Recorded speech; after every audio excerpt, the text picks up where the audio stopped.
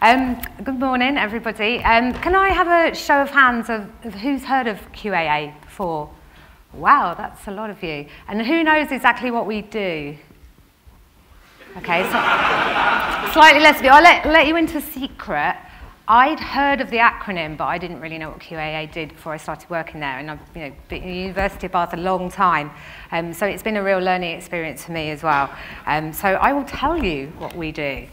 Okay, and this is our mission, and I think, I think it's a good one. It's about safeguarding standards and improving quality uh, for UK higher education. And I think um, quality, I mean, it's the heart of higher education, and it, and it kind of perforates every area. So in some senses, this is really key for, for all of us.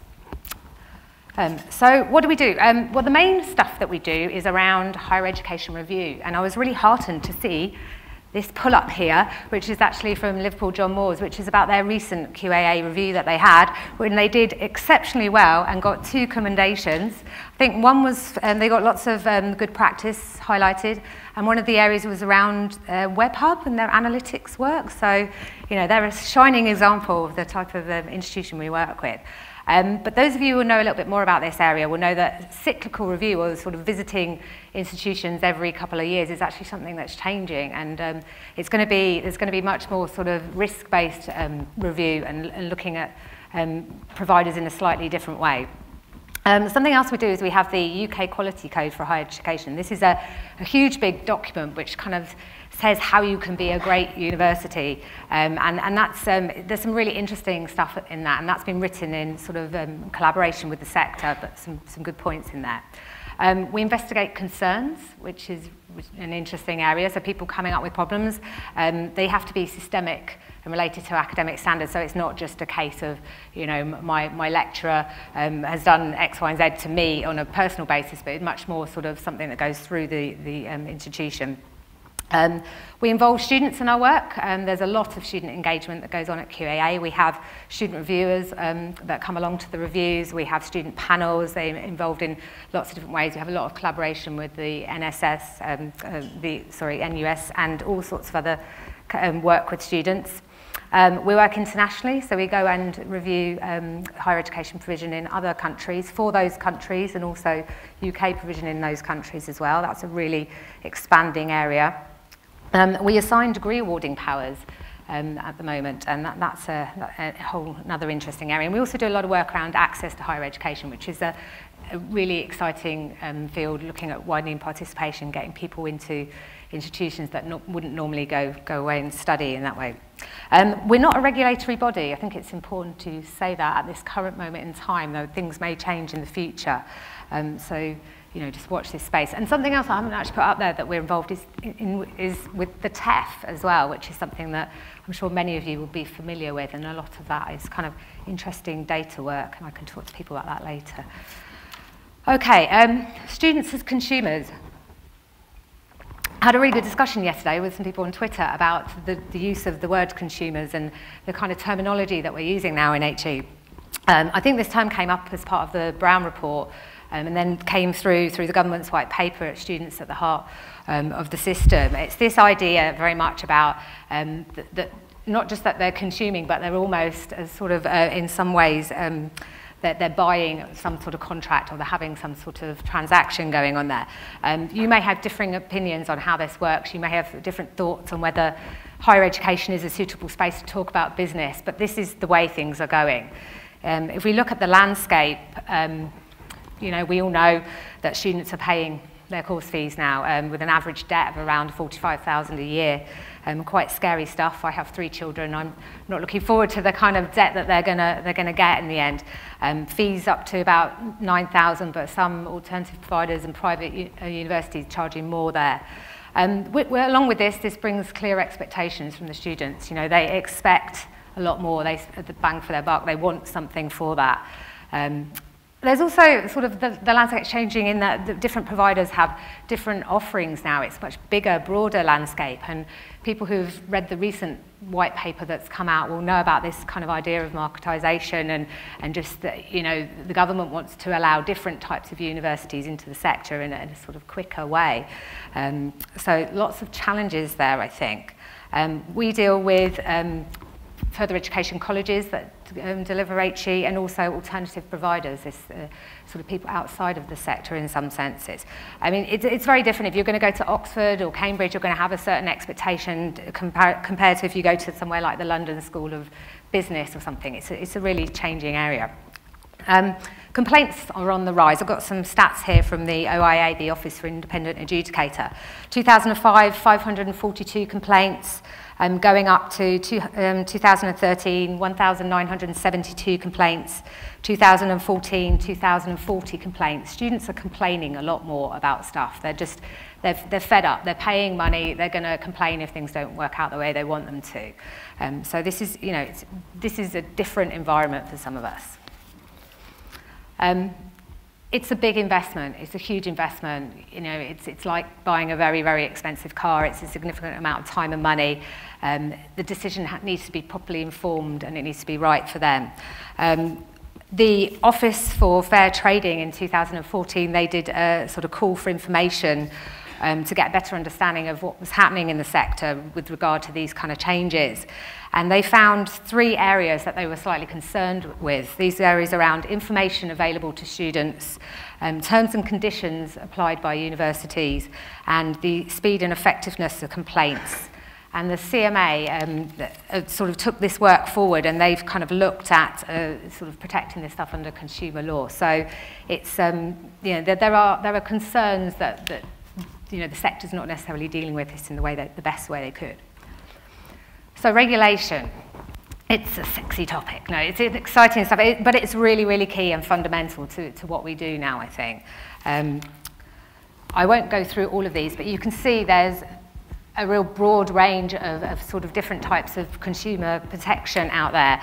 Um, we've got things like, I have to read these off because I'll get them wrong otherwise, but um, CPRs, invitations to purchase, um, the material information about the goods or services. And you have to be very careful about advertising goods that don't exist, omitting material information that's needed on a decision, aggressive sales tact tactics, not follow following a commitment of code of practice.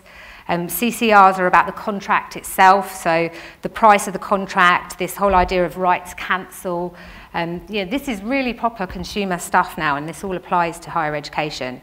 Um, UTCCRs, the, the requirements of fairness in contract terms, um, you know, sort of no imbalance on parties' rights, um, and you know, it's very key, important stuff. And the Competition and Markets Authority, CMA, that I mentioned earlier, um, they formed as a way to take forward some of this stuff. Um, uh, they they um, took on the functions of the Office for Fair Trading and the Competition Commission, and they're, they're really looking at this area and making sure that sort of higher education are doing the right things in this space. Um, so the Consumer Rights Act came into force in 2015, pulling together all these different bits of legislation. And I think the key thing here for us to take is that it's about pre-enrollment and po post-enrollment. So there's two different areas that we're looking at. There's the information or the things that you say to someone before they've actually you know, decided to study at your institution. Um, and this here, we, you know, the stuff that Piero's touched on around personalisation, targeting the right people, having those right conversations. But then there's the stuff that happens post-enrolment, when you have that contract in place. Um, so this stuff covers the whole of a student's academic career um, and it's really, really key that they get the right information. So the information has to be accurate, complete and clear and made available in a variety of ways. Um, and the onus is on you guys to make sure that this happens. Um, the CMA guidance that came out um, is there to support the sector. Um, they found that the majority of students um, use the website to make those choices, unsurprisingly. I mean, I've seen various other statistics banded around, but basically, they're using your websites to make this very, very big, huge decision, and you need to make sure that you're, you're doing something about it. Just out of interest, how many institutions have got some sort of group that's looking at CMA guidance and dealing with it in some way? So you guys are on this, so I could be, you know, I'm preaching to the converted here. I suppose the fact that you've got a group and that you're, you're doing some work in this area, whether you've actually cracked the nut, that, that's a, a different matter altogether. And having been to a really interesting session yesterday on digital governance, it's a very complicated space with a, with a lot of work that, to be carried out. Okay, so CMA guidance um, is around information provision. We've mentioned these different stages.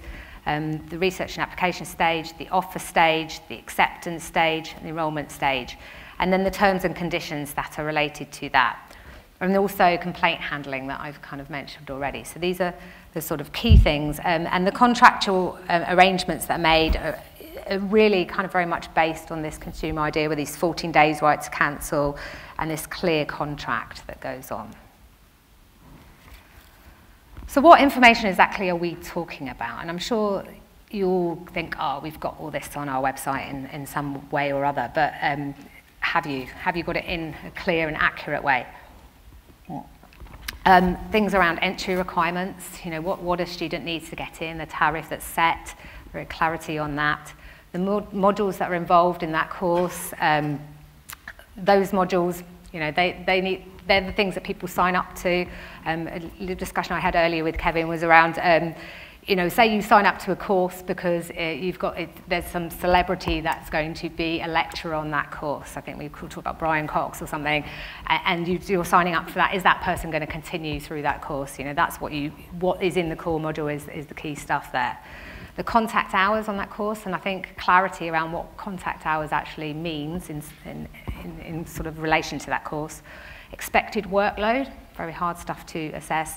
The qualifications of the staff who will be teaching on that course and how things will be assessed on the course. Um, course award, location, length, accreditation, and fees. I think fees is really the key one here. And I know that yesterday, I think it was Rob who was talking in the morning, talked about someone in their formidable PDF of, of fees and, you know, this big, huge chunk of information about course fees. But this is the kind of stuff that actually they are expecting you to, to have there in some shape or other. Um, just a little aside on course changes, I think this is a really interesting area. The way people design courses is, is very much changing based on the CMA guidance um, because you really need to nail down what's in a course and stick to it. I think there's a much longer cycle now for planning courses. Um, people, it's in a way it's less reactive and you, it, it, maybe it's stifling innovation a little bit because people can't just come up with something, but you have to be very, very clear in what's going to be involved um, you know, in a particular course. And making sure that you have clear deadlines for changes and what, what, um, what sort of means a substantial change and what means a small change. Um, apparently a Which survey in 2014 um, found that 58% of students reported a significant change to their course. Um, what does significant mean? Does it mean dropping a module? Does it mean changing lecturers? Does it mean changing the title of the course? Okay. Um, yeah, so 35% found this change wasn't fair. Um, you know, it's, it's, this is a really key area, I think. Um, um, so CMA um, have said that they will undertake a review of the sector. I don't personally, I can't find any details on exactly what's going to happen there, um, but this is something that will be happening at some point or other. They are, have led a big campaign, get, sort of aimed at students, getting students to to know about this stuff and also encouraging them to submit evidence of non-compliance. So you can see here from some of the posters, they're talking about changes, they're talking about hidden fees, for example, did you know that you were going to have to pay to go to take a year out and do X, Y, Z? That's one thing that comes up uh, lots and lots of times, students not knowing about those type of things. Have you got the right information you, you need? Have any of the fees changed? You know, how does IP fit into all of this? So um, this is what the CMA are doing. Um, as you mentioned, people are looking, looking into this area. It's quite hard actually to find um, sort of guidance or, or sort of examples of what people are doing in this space. This is a UEA CMA action plan, and they, you know, they've highlighted this, and they've got a working group looking at this area. But people aren't being very open about the kind of activity they're doing in this space. Um, but it, this is a, it's an ongoing thing that involves digital governance and lots of different, lots of different areas. So it is quite fundamental. So I suppose the question is, you, you all nodding and you're all saying, yeah, we, we're doing all this already and you, you know, you think it's, you've got it covered, but, but have you really got this stuff covered? Um, there's quite a lot of stuff actually in the media about how you guys haven't really got it covered. And I mean, some of this may be from a while back. Um, I'm sure quite a few of you would have had a good look at that Which report there. Um, but there's some real bad press out there about how universities are failing to do this stuff. Um, universities are breaching consumer law. Um, we're not giving the right information to people. Um, the Which report, which is, makes interesting reading, it's quite scathing on some of the stuff that appears on websites. Um, they looked at they looked mainly at psychology degree courses, and that was their specific thing that they covered, and it came out in September last year. Um, 12 different areas, including all the stuff that's mentioned in the CMA guidance, and they found that nearly two-thirds failed to provide updated information on tuition fees, um, uh, some, some really, really failed. Three providers provided approximately 30% of the information required. Um, they found things like no uniform best practice, that only one in four meeting the minimum um, CMA guidance, 257 pieces of unlawful or in inaccurate information, um, the, they actually name and shame as well. I'm sure people have gone and seen this stuff. They found things like lack of context for KISS widgets and where things were placed on the website, just huge amounts of missing information and lack of explanation. So we go back to this thing about contact hours. People just weren't explaining what they meant by contact hours there.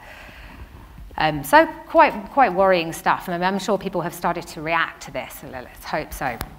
Um, within our review findings, we're finding that, that um, you know, universities are, are doing the, what they're supposed to be doing, but there's still quite a lot of recommendations there. Um, people just aren't having a coordinated approach to this. They're not being clear about some of the information that's being provided. Um, the recent white paper is really, really focused on fees and says that, you know, this is, this is core and um, if people don't provide this, I think that people are going to, at some point we will start to see people people being sued in some way, I'm sure.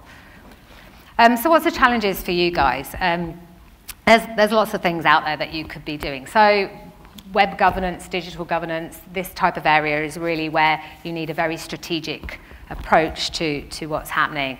Um, you need support from the top level up to make sure that you, you've got people um, recognizing that clear processes need to be in place, that, that change needs to be managed, clear deadlines and understanding how that change process is carried out.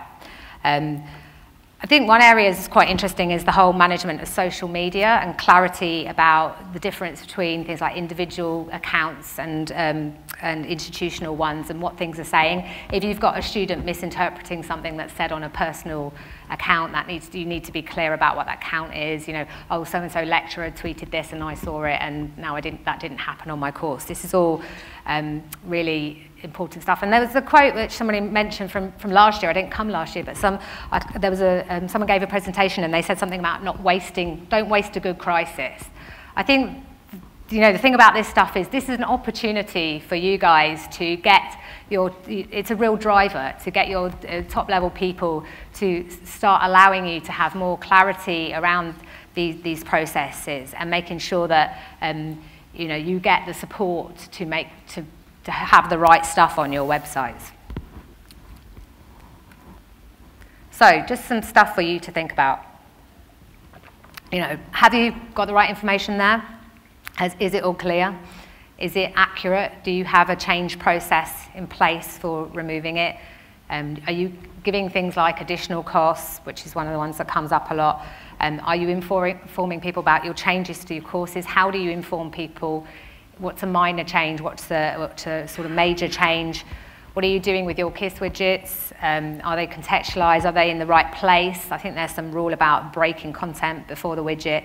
You know, is, is this, are you, you know, making sure that it's, it's not you that, that's going to be the, person, the, the group that causes someone to basically to uh, sue your institution?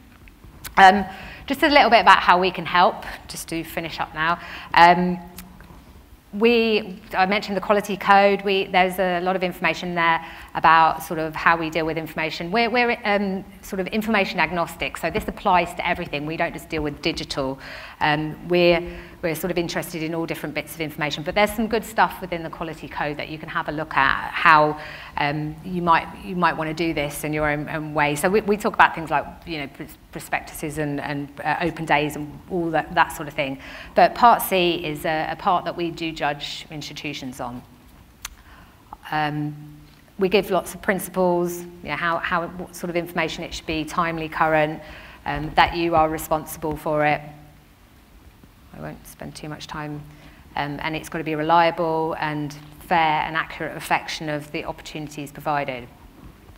We also have a real range of guidance documents. Um, so some of these are are about how you, as an institution, can explain areas. So explaining staff teaching qualifications, explaining what class size means, um, explaining what workload means. I mean, the classic thing about the contact hours and students saying, I don't get enough contact hours, but they're on a humanities course that involves reading books, you know, and you don't really want someone sat next to you while you're reading a book all day. So it's just, and also that's really key as well, especially with an international audience, because there are different expectations in different countries about what, um, you know, a workload or contact hours are, and, and just kind of making sure that that's clear when, you, when you're talking to students.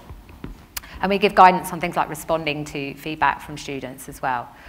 Um, just to hammer home about this point, um, it's up to you. You're responsible for ensuring that you comply with um, all the regulation and um, consumer protection legislation out there. We haven't seen what's going to happen so far, but there are going to be the fines, there are going to be complaints and loss of reputation, which is, is really key, I think. Um, and uh, my, my presentation's on SlideShare, but I've got a list there of different um, resources that you can have a look at, including some scenarios as well that people have worked through different cases and how they deal with those.